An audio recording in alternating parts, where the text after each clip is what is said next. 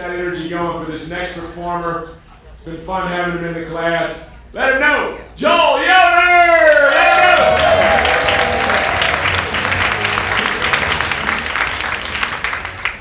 Alright, so I'm totally freaking out right now, okay? So I've never, I've never done this before. I, I like rehearsed it and then I'm blank. But, but uh, I, I, I saw a counselor, uh, I did this group therapy thing, and um, uh, you tell them like a really bad problem, and everybody in the group just fake laugh, and then they really started laughing. It made you laugh. So do that for me right now. Do that. Yeah, my last name's Yoder. Um, yeah. Uh, I don't own any Yoder companies, all right? um, but yeah, um, I'm from Ohio. I'm one of the Ohio Yoders. Um, but uh, you know, the first thing people ask when I say my name, they're like, "Are you Amish?" I'm like, "No." You know, uh, but uh, um, the story is my grandparents grew up Amish and then left. I don't know what to call order. Left. Like I don't even know anything about them. so you know they left. So thank God.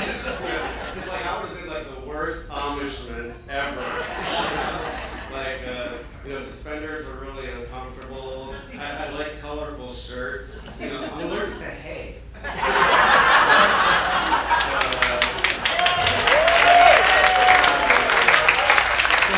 but you know, the good for me, like, like growing up was kind of rough. Like when Star Wars came out, you know, the kids in school called me Yoda. so, you know, it actually wasn't that bad because the guy that he, he became Yoda, he became like one of the most uh, powerful beings. You know, it didn't have anything to do with his size or his looks and his age. You know, like I could go for acting. so, anyway.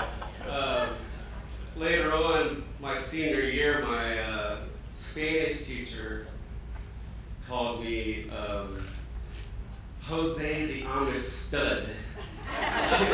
but uh, I, I don't know, I think it was because I was really good looking at the time. I had a mullet.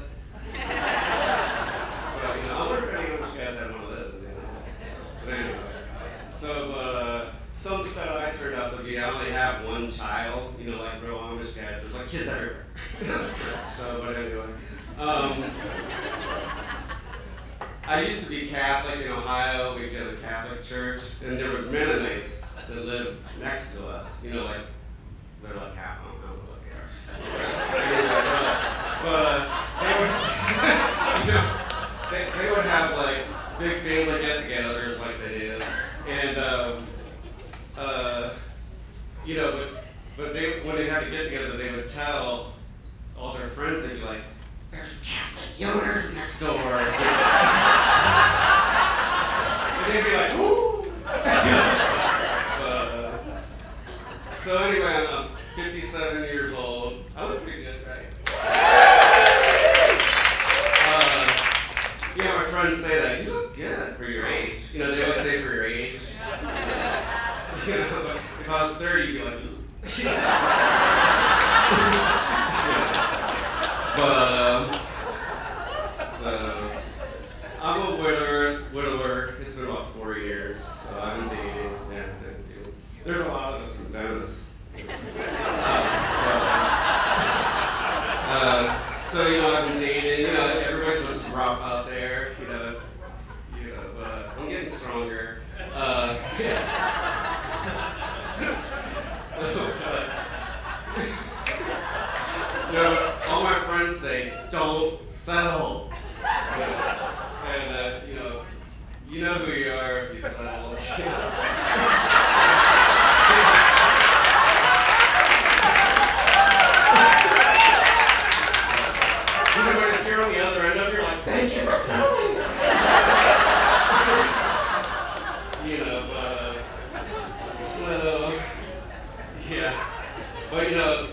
Even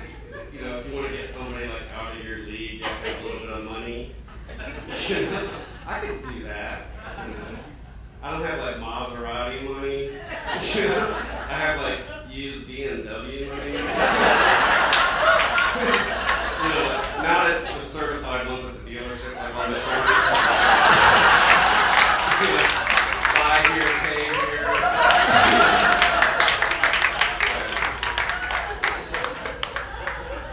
this isn't so bad.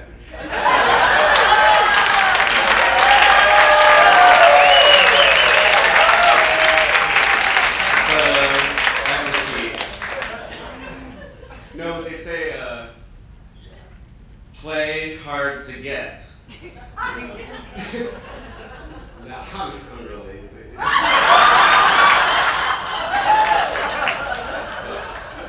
no, but, uh, you know, like sometimes you really like someone and they don't like you, and then, you know, they have to tell you. Uh, I really like this woman, and she's like, hey, listen, you know, you're an amazing man. you know, but I just don't see this going anywhere. And I'm like, do you know what amazing means? I mean, like, I can look it up in the dictionary and say, what are you looking for? But I'm, I'm getting stronger. I only tried for like two weeks. But anyway, uh, uh, I went to this live uh, matchmaking, you know, like, like a dating service. And you walk in and they like interview you. It was really cool. They interview you, and then uh, you tell them, you know, what you're looking for. And, you know, so I was like, well, that's cool. You know, you pay a fee. It's like, okay, whatever. You know, but you know, so I described to them, you know, okay, yeah, you know, I, I golf. I live on a golf course, so I'm like, yeah, I'll, you know, like, I kind of configured this golfing, hot golf woman, you know, with like a little mini skirt, you know, mini skirt, you know, and the, you know, the visor with a cute ponytail off the back, you know, she looks real fine. So then they called me and they said, we found someone for you. I'm like, oh my, that's awesome. you know. So we meet and she walks in and uh, yeah, you know, she wasn't like athletic at all, you know what I'm saying? She was like, she was all tatted up. She reeked of cigarette smoke. You know, I mean, the tattoos are okay, but it's like I, I'm like half Amish. I don't have any tattoos. so, uh, yeah. So, um, she said she lived in a camper. You know, but you know, like, in, you know, Florida, a camper's not that bad. In Ohio, you're like, whoa, you know. But like, in Florida, it's like, oh, that was a smart, uh, uh, you know, uh, real estate decision. You know? but uh, you know, so I had to tell her. You know, I, I was like, hey, listen, you know, you're an amazing woman.